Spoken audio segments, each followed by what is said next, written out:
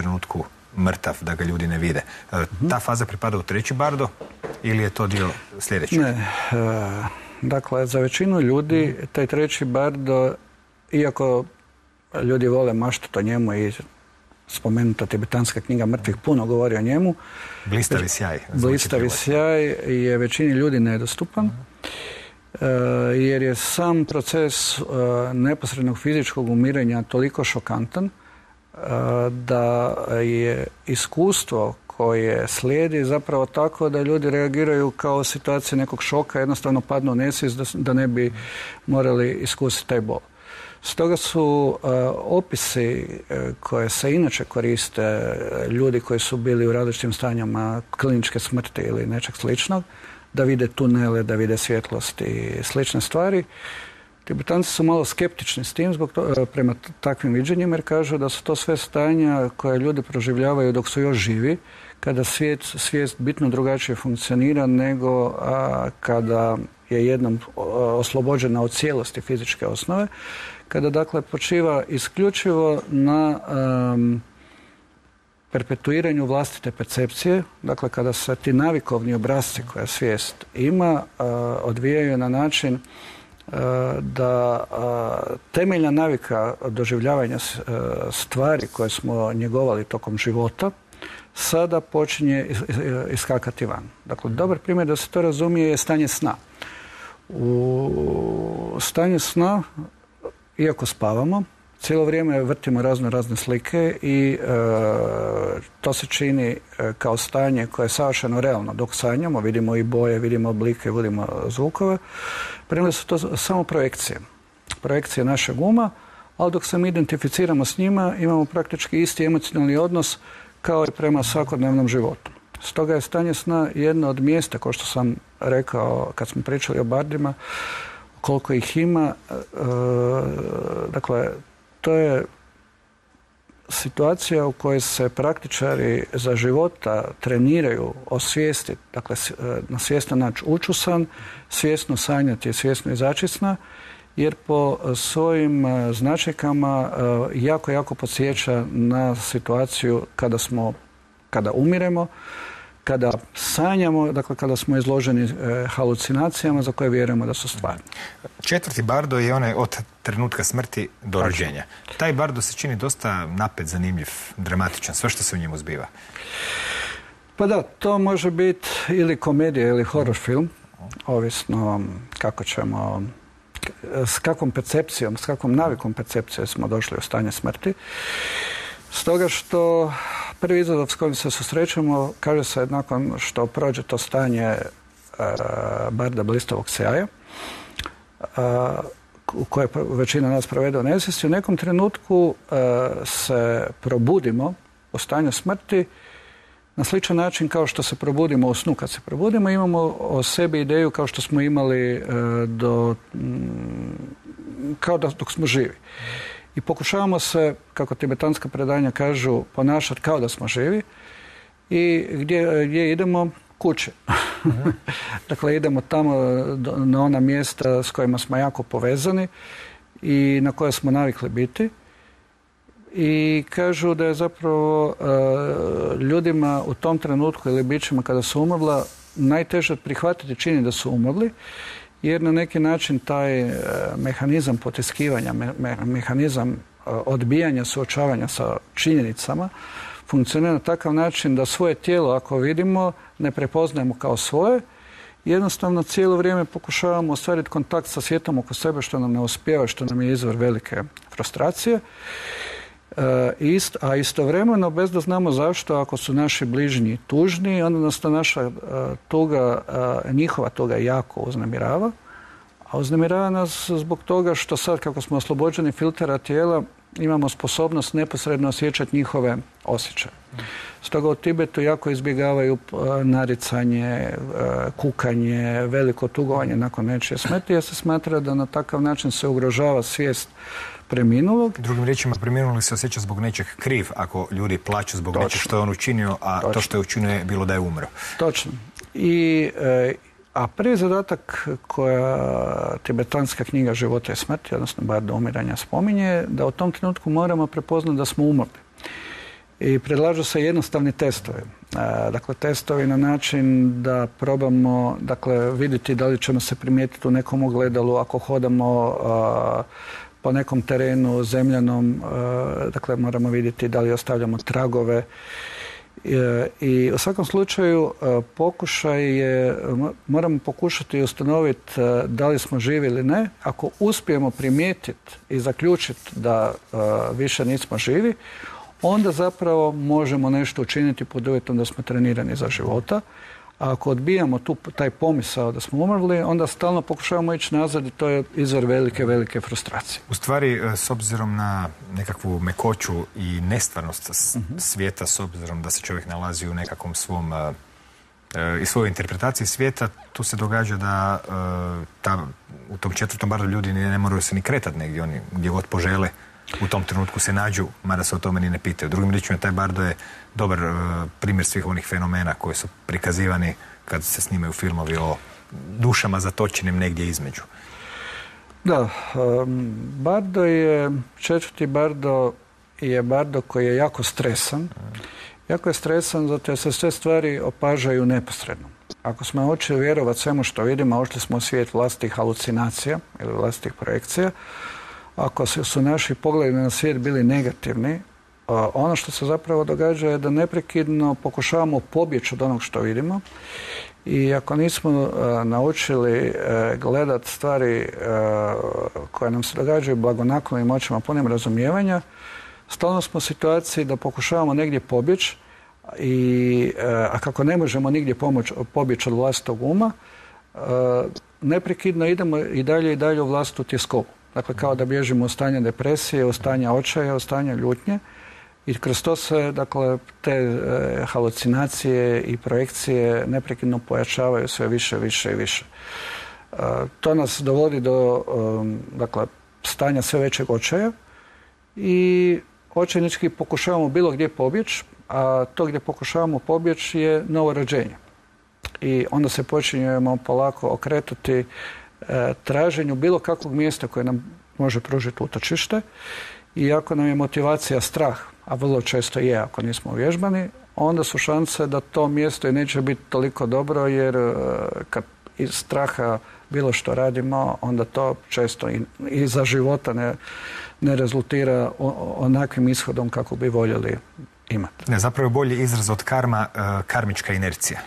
Točno. Karmička inercija je dobar izraz jer s druge strane pod uvjetom da neko prijateljski gleda na stvari bez straha i e, bez a, očajanja onda s, e, bez, zbog toga što ne prijanja za te percepcije kaže se da Bardo može biti vrlo ugodno mjesto i može osjećati kao da prolazi kroz jedan vrlo zanimljiv film i kojega opet po toj inerciji koja je sad pozitivna i koja nije uvjetovana strahom neminovno vodi e, ka nekom području koje odgovara po svojim karakteristikama takvom načinu gledanja stvari. Kako se čovjek iz tog zatvorenog kruga, kruga iščupa? Dolazi li to um, nekim njegovim e, djelovanjem? Dolazi li to nakon određenog vremena spontano ili kao nekakav val ponude? Kako on iziđe iz tog začaranog kruga u kojem odjednom primijeti, gled nitko me ne vidi, mene zapravo nema kud da sad krenem i što se onda događa? Jer sam, sam po sebi čovjek bi mogao tako vrtiti se u krug do iznemoglosti. Pa budistički učitelji i kažu da se većina ljudi vrti, nažalost, tako u krug. Jer e, dok čovjek e, ne istraži i ne upoznaje i ne počne mijenjati mehanizme vlastitog uma za života, u trenutku smrti nešto, e, je to vrlo teško učiniti. Zbog čega? Zbog toga što je već spomenuta inercija takva da se teško skidamo sa navike određenog ponašanja. Recimo jedna od tih navika je vjera u postojanje materijalnog svijeta. To je dosta jasno vidljivo u ovom četvrtom bardu. Kako se onda ljudi iz toga izvuku, eto, uh, happy end postoji ipak za većinu njih? Happy end postoji na uh, različitim razinama barda. Dakle, ljudi koji se uvježbavaju za života, kao što smo rekli, mogu svjesno napusti tijelo još u onom drugom bardu, dakle kada dolazi do neposrednog čina umirenja, mogu iskoristiti smrt za trenutno prosvjetljenje ostajući dakle, na razini srca u trenutku kada se počinje manifestirati treći bardo I u četvrtom bardu mogu, ako se sjete bilo kakvog mentalnog treninga, meditacije kojeg su dakle, uvježbavali u životu, za života, na način da prepoznaju da je to sve što se događa jedna velika predstava. Dakle, opet je to slično dakle, situaciji koju uvježbavamo u snu. Onog trenutka kad se nađemo u noćnoj mori i e, znamo da je to samo san, u tom trenutku identifikacija s tom noćnom morom prestaje. Dakle, postoji zgodan vic koji je moj učitelj priča na tu temu, ilustrirajući kako to izgleda. Kaže, čovjeku, čovjek sanja da ga ganja demon, ono strašan, ono užasan iz najgoreg horora i čovjek bježi, bježi, bježi. U jednom trenutku dođe do zida i u očajanju počinje vrištat šta ću sad, šta ću sad?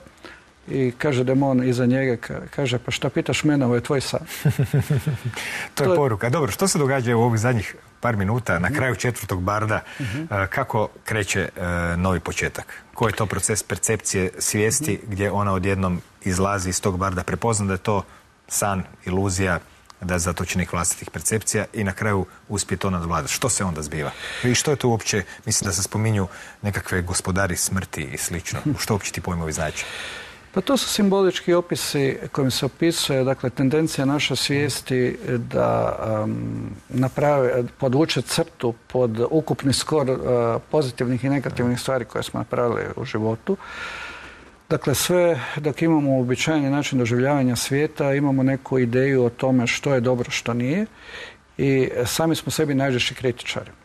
Dakle, bili živi ili mrtvi, postoji svjesnost o tome i u nekom trenutku se to manifestira, simbolički se opisuje da u nekom trenutku dolazimo pred gospodara smrti koji odmirava koliko smo napravili dobrih stvari, koliko smo napravili loših stvari.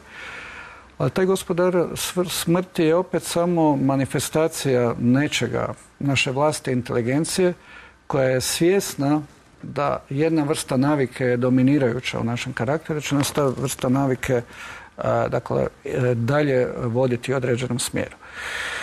Jednom kad krenemo jednom jednim pravcem vodi nas inercija, međutim u svakom trenutku bar tog četvrtog, pod uvjetom da je neko prošao određenu vrstu treninga, postoji mogućnost da prepozna što mu se događa, da shvati da je u snu ili u završnom trenutku prije nego što će se roditi, ako opet prepozna da slijedi ponovno rođenje i onda umjesto da oca, budućeg oca i majku prepozna na način da su oni e, e, idealno mjesto za ponovno utjelovljenje, ih prepozna kao manifestaciju dakle, univerzalnih principa, dakle, muških i ženskih buda koji su sjedinjeni u jedinstvo i prepoznajući ih kao manifestaciju, manifestaciju transcendentalnih principa, može opet razbiti identifikaciju sa, e, za željom za ponovno rođenje. Ako to ne može, kaže se nešto vrlo zanimljivo, ako će buduće biće, pričamo li o rođenju, a postoji šest tip, mogućih tipova rođenja,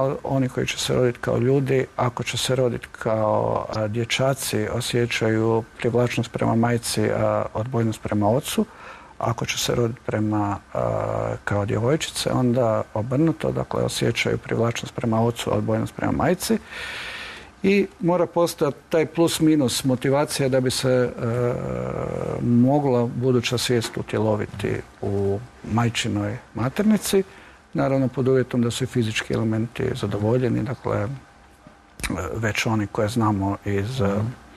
svakodnevnog života. Mhm. I onda kreće opet sve iz početka prvi bardo i Pa sve će, kreće sve opet, ali ljepota tog učenja je da e, ljudi sami biraju hoće li biti slobodni ili neće biti slobodni. Dakle, ta paradigma da je smrt neko prokletstvo i e, da jednom kad nastupi kraj više ničega nema, u budističkom poimanju svijeta jednostavno ne postoji.